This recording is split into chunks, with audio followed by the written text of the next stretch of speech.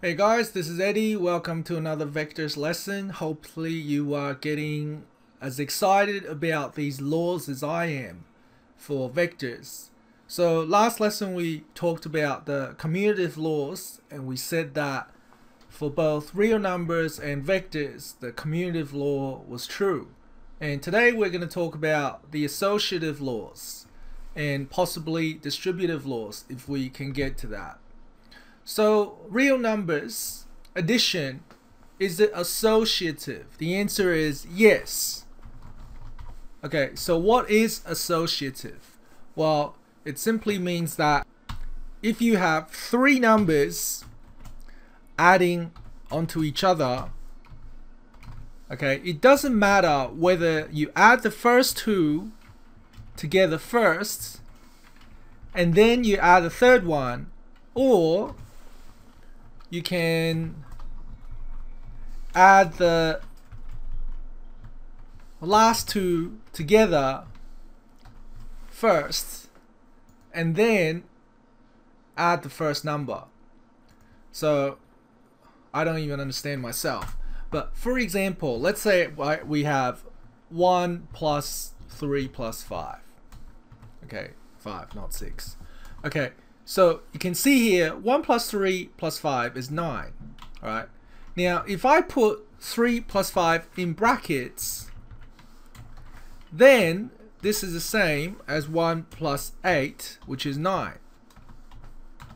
So it still gives me the same thing, whereas I could do 1 plus 3 and put it in brackets, and then plus 5. It's 4 plus 5, which is 9. So it's still the same thing. So therefore, real number addition is associative. Okay, now let's try real number multiplication and see if it's associative. And the answer is yes, because if we have, might just copy this over, it's a bit easier to do. So if we have A times B times C, um, and we multiply the first two numbers together first, that is exactly the same thing as um,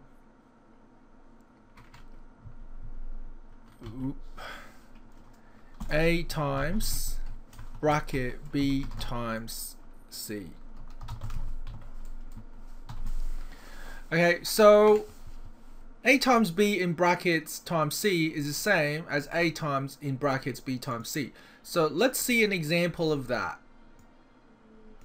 Okay, so for example, um, we could have 3 times, I'm just going to use this symbol for times, it's easier. 3 times 5 times 2 is 30. Right, because 3 times 5 is 15, times 2 is 30. Now, it doesn't matter whether you go 3 times 5 in brackets first, and then you times it by 2, because that'll give you 15 times 2, which is 30. Or you could go 3 times um, 5 times 2, which is 3 times 10, which is still 30. So, for real numbers, it's associative when you multiply. Okay, so let's now do vector addition and see if it's associative. So in other words, we want to know whether if we have three vectors adding onto each other, so if we have a plus b plus c, vector c, and we want to know is that the same as we want to know if it matters whether we do the first two in brackets. So we do that add those two vectors together first and then add the third one. Will it be the same thing as adding the second two together? And then adding on to the first one. So let's try geometrically representing that so I'm going to draw a vector to start off from the origin, and I'm going to call this vector A. a. Okay, so this is the origin and this is vector A. Okay, and then from vector A, I'm going to add a horizontal line, which is vector B. So it's going to be about here that I stop. And I'm going to call this vector B. So, so far we have vector A plus vector B. So if we do A plus B right now, we will get this vector here from the origin to vector B. So this line is therefore um, A plus B. Okay, so right now this is what we're doing, A plus B. Now we're going to add another vector called C at the end of vector B, so it's going to be A plus B plus C. And let me just draw another vector from this point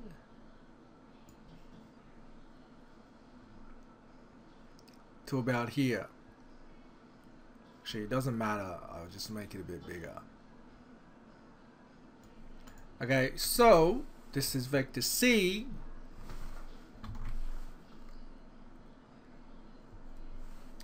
And therefore, the result of this vector, the resultant vector from the origin to this point is therefore vector A plus B in brackets, right? Because it's this line here plus that line. Okay, now we want to try the other one where we're gonna go B plus the C first. Okay, so we're starting at this point this point is now our origin. So we're doing the second part now. Let me just highlight that. We're going to do this part first. So we're to go B plus C. Okay, so should probably highlight that a little bit better. Ah, who cares?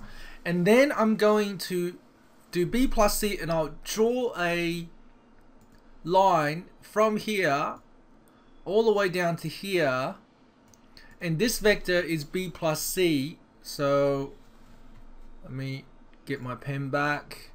This vector is b plus c.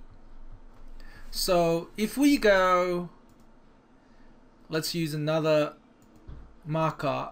If we go a plus so we're now doing the second one. A plus b plus c, which is that, a plus b plus c, then we end up with the same thing.